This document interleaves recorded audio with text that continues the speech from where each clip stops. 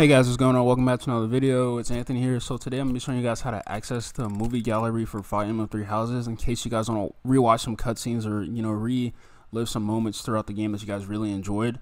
So what you're going to want to do is you're going to go to the main menu when you first start up Fire Emblem Three Houses. You're going to go to something called Extras and in that Extras menu you will see, you will see something called Movie Gallery and basically again you go to that and then it'll show you all the cutscenes you've unlocked so far in the game now, with that being said, you guys are obviously going to unlock more uh, cutscenes as you guys uh, go throughout the story and progress through it. But yeah, guys, I hope you guys enjoyed the video. I hope you guys, you know, thought this was helpful in some sort of way. And I'll see you guys in the next one. Peace.